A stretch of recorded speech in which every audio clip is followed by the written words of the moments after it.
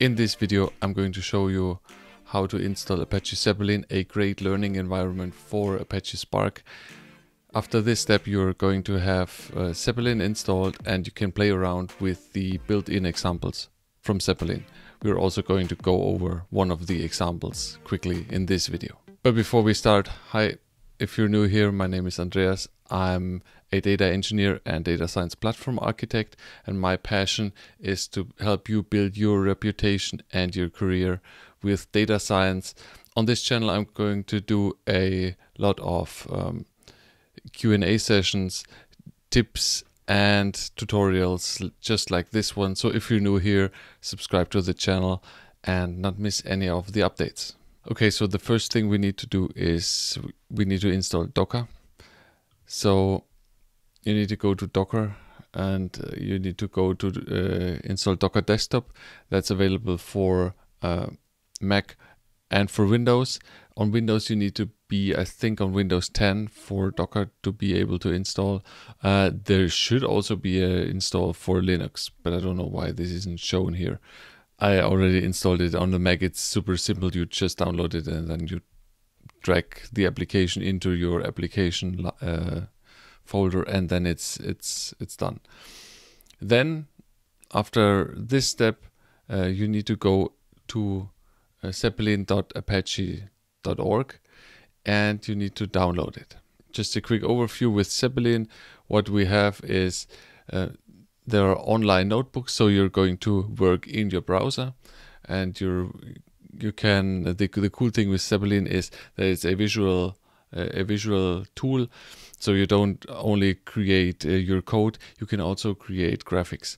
And this is super super cool for learning it. So you can have visuals and you can play around with this with this stuff. So you can set uh, different uh, types of graphics and so on. You can even drag and drop um, drag and drop columns. You can do uh, you can format stuff. You can do SQL queries on the stuff. So on your data, it's it's super simple, super great. I'm I actually learned uh, Spark with Zeppelin. I taught it myself, and that's that's what I recommend to do.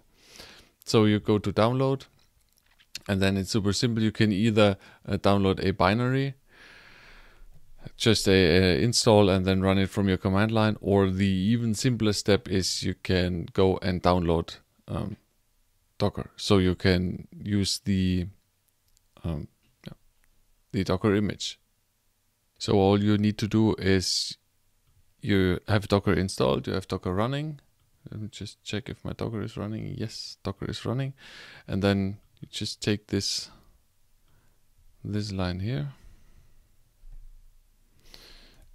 and put it into your command line.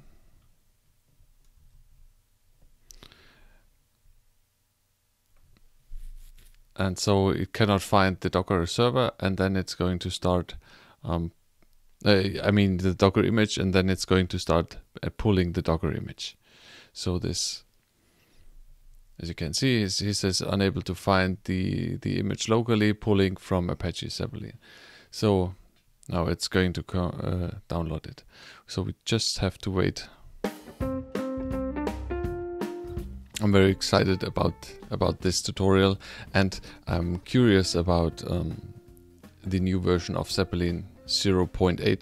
I uh, learned it with an very with an older uh, um, with an older version, a very older version. Uh, back then, Zeppelin was Apache incubator state, so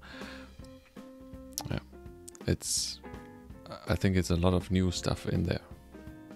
Okay, so let's just wait for a second.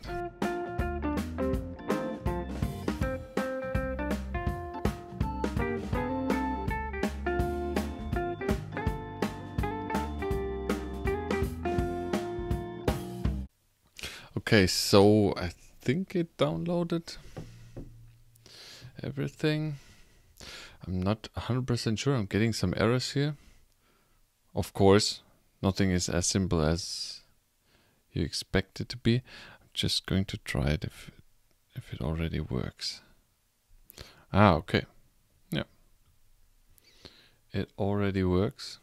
Let me just grab a Chrome window here. Okay.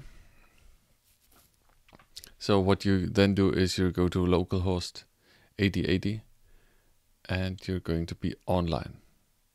Now, what you have here is you ha can have uh, a look at the uh, tutorials. There's a section for tutorials and just uh, get in there, get Zeppelin tutorial and uh, basic features Spark, for instance.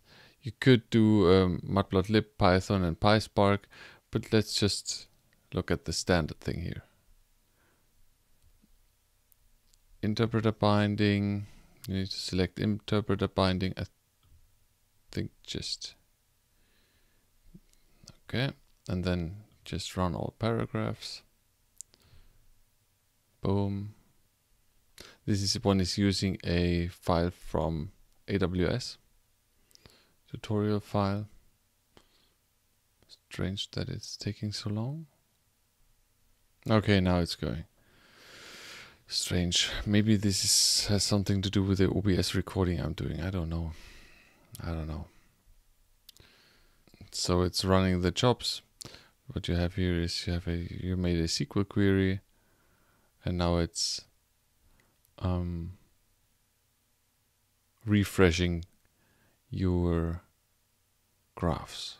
Okay, so that's more or less it for the basic thing. Everything you do here is you um, import a file from AWS, a Zeppelin tutorial file, and then uh, you format it, and uh, then you can look at the data here.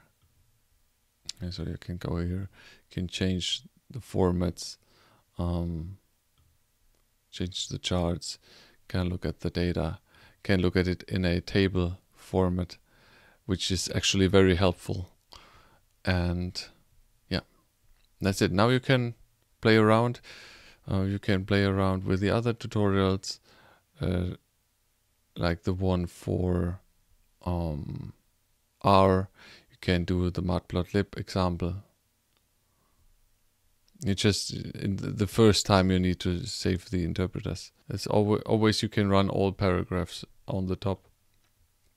Just run everything. And then it's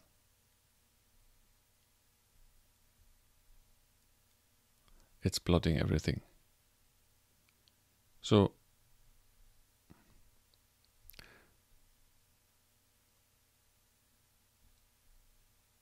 as you can see here, then everything is getting created. Okay, so that's already uh, the first step.